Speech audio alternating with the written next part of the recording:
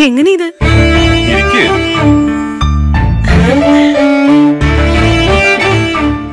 Flavoured popcorn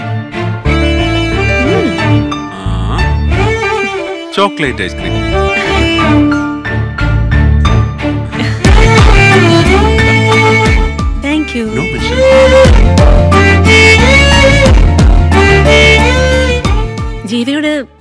ചോദിച്ചില്ലായിരുന്നോ? എന്നോടോ? അങ്ങനൊന്നുമില്ല. താൻ കഴുകി ഞാൻ ചോദിച്ചു. തനിക്ക് എന്ത് വേണമെങ്കിലും ഇഷ്ടം പോലെ ചോദിച്ചോ. ഞാൻ ഇൻസ്റ്റന്റ് ആയി തന്നെ മറുപടി പറയാം. ആ ഇപ്പൊ പറ. ഉം. ജീവയുടെ മാരേജ് ലവ് മാരേജ് ആണോ അറേഞ്ച്ഡ് മാരേജ് ആണോ?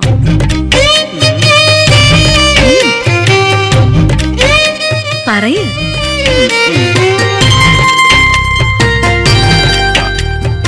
ഇൻസ്റ്റന്റ് ആയി മറുപടി പറയുന്നു പറഞ്ഞിട്ട്? ഒന്നും മിണ്ടുന്നില്ലല്ലോ. അത് ഐസ്ക്രീം തൊണ്ടയിൽ കുടുങ്ങിയെന്നാ തോന്നേ. ഈ ഉരുണ്ട് കളിയൊന്നും വേണ്ട. സത്യം പറയും. ജീവിയുടെ മാരേജ് ലവ് മാരേജ് ആണോ അറേഞ്ച്ഡ് മാരേജ് ആണോ? ചേച്ചി അനിയത്തി ഒരുപോലെ തന്നെ. ഒരു കാര്യത്തിൽ പിടിച്ച അത് വിടത്തേയില്ല ജീവ ചുമ്മാ അറിയാൻ വേണ്ടി ചോദിച്ചതാ. ഇതിലിപ്പോ എന്താ?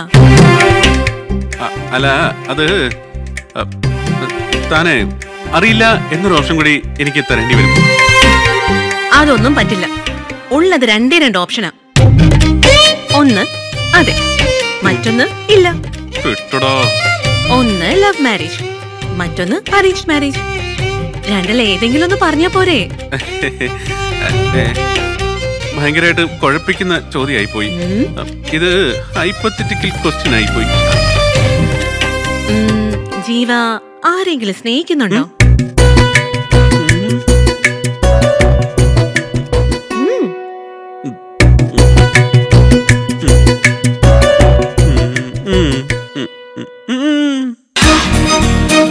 ഒന്നുകിൽ അതേന്ന് പറയും ഇല്ലെങ്കിൽ ഇല്ലെന്ന് പറയും.